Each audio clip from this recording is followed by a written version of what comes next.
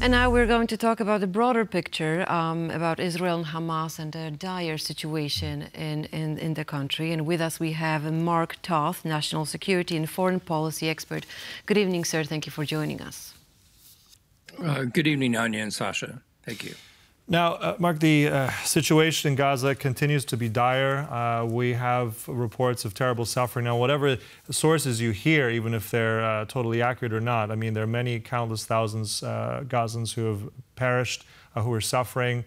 there seems to be famine, which is the next plight in this in this area of the world.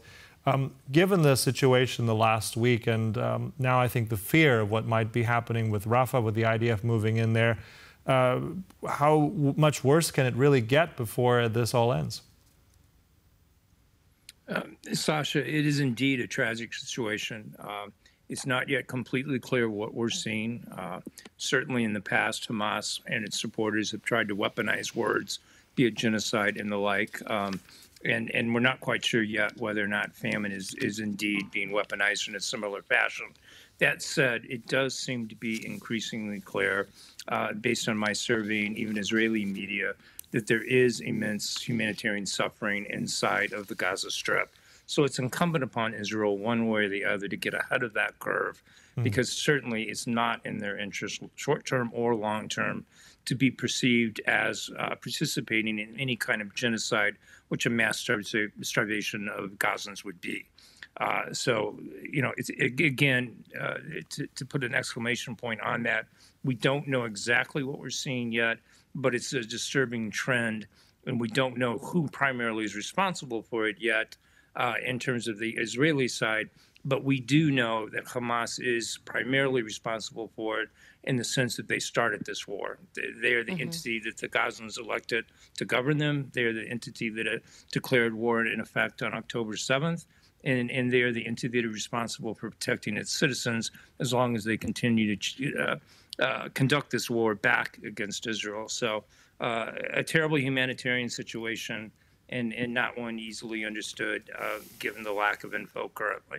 Right. Now, Without a question, what, what happened on October 7th was horrible to all Israelis, all those people who were kidnapped, who were raped, who were killed. Um, and it's not a, um, you know, it's obvious that Israel wants to get uh, the uh, Hamas members who are responsible for this.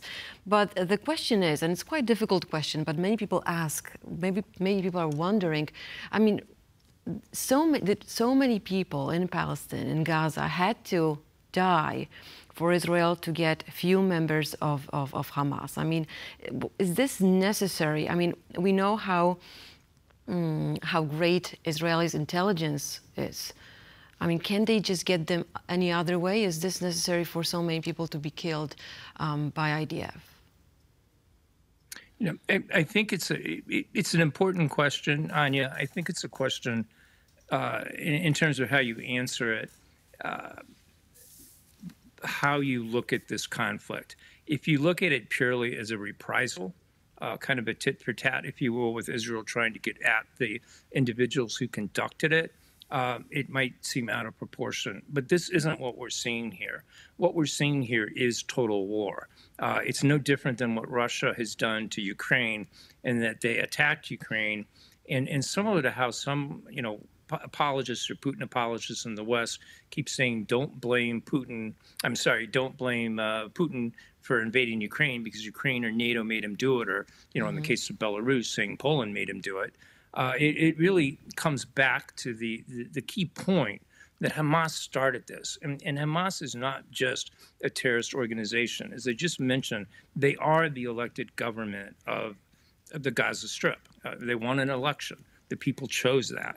And they chose to take that power to militarize and to create a sufficient military force that has threatened Israel continually, not just on October 7th, which, as you pointed out, was heinous and, and unacceptable in terms of the atrocities that they inflicted, but the numerous rocket attacks, rocket attacks that have been ongoing before and after, and still even sporadically continue to this day. So the, the dilemma is uh, for those of us that are looking at this from a military perspective is that this is, is not a, a tit for tat situation, it's war. And, and unfortunately, in war, it is incumbent upon the parties that commit it to protect their own populations. And Israel did give uh, the citizens of the Gaza Strip advance warning to flee certain areas that they were going to. Yeah, to, but Mark, uh, on, on that subject, I mean, I agree with uh, what you're saying in terms of um, you know the reaction. Of, of course, we, we need to debate this much longer about what what is uh, the Right. ethics of war, etc. But at the same time, as you said, you know, some of those Gazans may have been given notice, but I mean. With them really nowhere being able to flee to, uh, literally on the border, Egypt won't let them in. Uh, so, I mean, it also, I think that would be another element to look at. How much is Egypt then liable for those who've also died? And of course, that's a different question. But I want to just go into what you said earlier. Uh, today, um, Prime Minister Netanyahu said that no force in the world will stop Israeli troops from entering Rafah. That's today. We know that that's the red line that the U.S. keeps saying that there is. But at the same time, we have this idea of dissent forming also within Israel. And I think former Prime Minister Ehud Olmert said this today as well, that he believes that Netanyahu is running his governing coalition and the war in Gaza on the basis of personal interest in order to remain in power. So, how much of an element of that do you see here, of uh, an, an, a prime minister who very much is doing something for himself rather than for the state? I mean, those lines are blurred, but how much do these two prime ministers here clash and what the reality is? You know, Sasha, it's an important question. I mean, certainly we are seeing the pol- domestic politics of Israel play out in this crisis.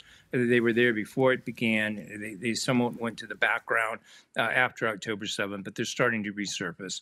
And it's not yet clear what Netanyahu really means. Yes, he is saying that a date has been set. Yes, he's very adamant that Rafah will be attacked. And, and from a war standpoint, you know, he's correct. You can't leave Hamas standing in Rafah, or else why have you done all of this? If you're just simply going to destroy half the country, which has happened, and not just Israel doing that, but Hamas doing that to their own country, if you leave them to reconstitute themselves uh, because they survived in, Hamas, uh, in Rafah to fight another day, that doesn't make any strategic sense from a war standpoint.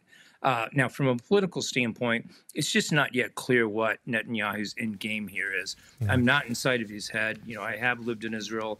I do understand the people. I get the political calculus that might be at play with him, that he's wanting to try to survive politically. But I also get the political calculus of others like Olmert, uh, who is is basically trying to use this uh, as an opportunity to oust uh, Netanyahu. So you know that's going to have to play out domestically in Israel, um, but it doesn't negate the issues that come about in terms of what's needed to win this war. Yeah, indeed. And I think there's so many layers to this. I think also we'll be talking more about it also with the uh, case right now going through the international court there with uh, Germany, Nicaragua as well. So this just adds more and more layers. But we'll have to conclude it there. Thank you so much, Mark Toth. There, uh, appreciate your insights. It is, and my deep my deep condolences to the family of Dam- Damian Sobol. A Thank you. Tragic and, and certainly a heroic man. That's Thank right. you. We really appreciate that.